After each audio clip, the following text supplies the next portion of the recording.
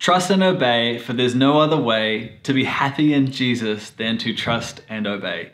It's a beautiful song and it summarizes essentially the Christian faith and the life of a Christian. Two major elements trust God and obey God, the most foundational elements of being a Christian, and yet they're the two hardest things to do in our day to day life. Today we're talking about trusting and obeying.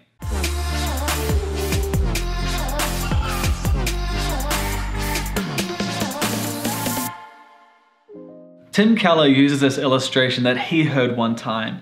And the illustration goes like this. Picture it's leading up to Christmas time. Christmas shopping is crazy. And a father and a son go to a toy store. And, and, and this is not just any toy store. This is like the super toy store. And the, the father takes the son through the front door and the son's getting excited because Christmas is coming. And it's all, look at all these amazing things. And the father takes the son over to this toy and says, what do you think about this one? And the kid says, oh, this is amazing. This is so cool. And, and the father says, do you, do you like do you like this one or this one? The color uh, options. He's like, I prefer that one. He's like, oh, that's awesome. Well, what about this? And he takes him over to another toy on a different aisle and says, what do you think about this? And the kid's like, wow, this is amazing. I've never seen anything like this. He's like, oh, just wait till you see this over here. And he takes the kid over to the far aisle and, the, and there's, I don't know, it's RC cars or something like that. He's like, what, but what, this one on the top shelf, what do you think about this? And the kid's like, this is incredible. The coolest thing I've ever seen. And the father kneels down and he says, I brought you here to show you all of these, these amazing things, but I want you to know that you are getting none of them. This is a painful illustration and a painful story because something in each of us dies, but the illustration is serves a, a greater point, and the point is we think of God this way.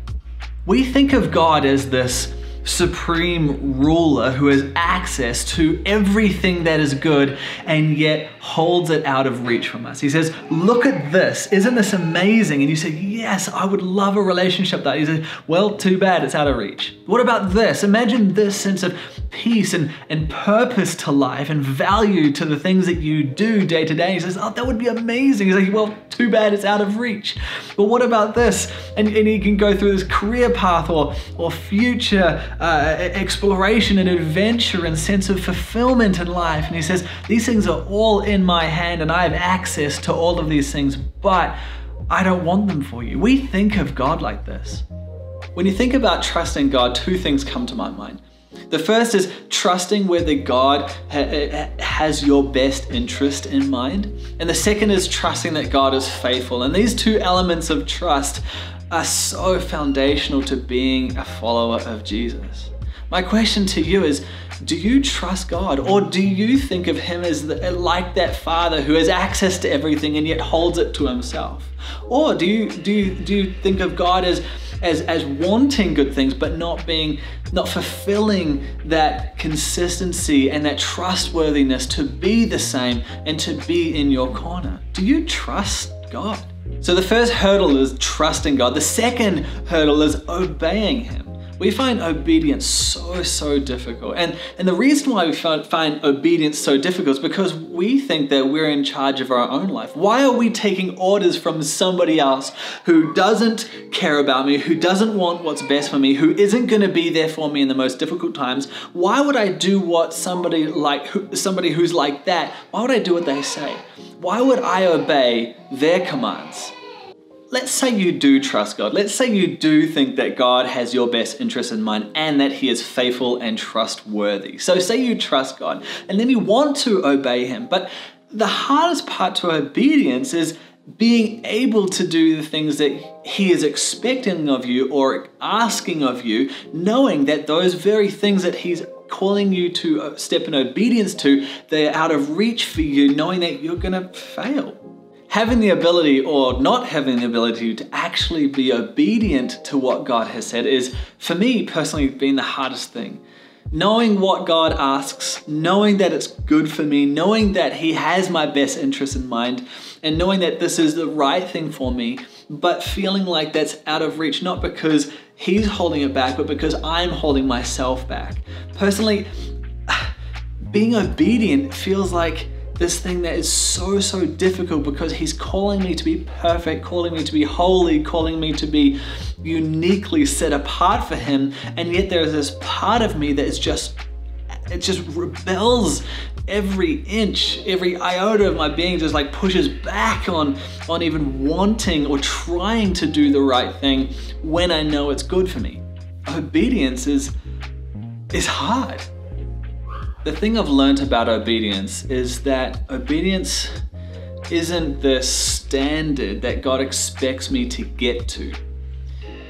God uh, calls me to be holy, calls me to be pure, calls me to be righteous.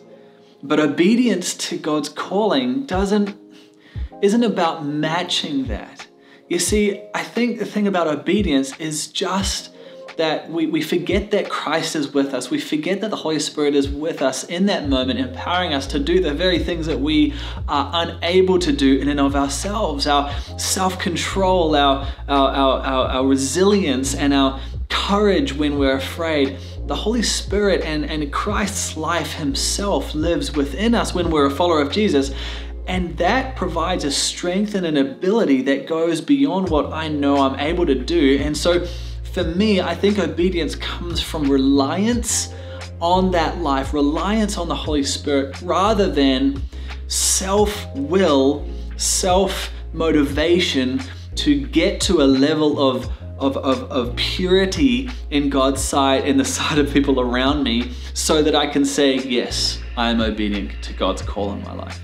I think the thing about obedience is less about managing to be perfect and more about relying on Christ's perfection and letting his life change us from the inside out so that when he calls us to do something, he is the one that's doing it through us. That, for me, is what I've discovered obedience to be. I'm, just going to read through a couple of the verses and some of the lyrics from the rest of the song just because I think it's so powerful. It says, Then in fellowship sweet, we will sit at his feet, or we'll walk by his side in the way.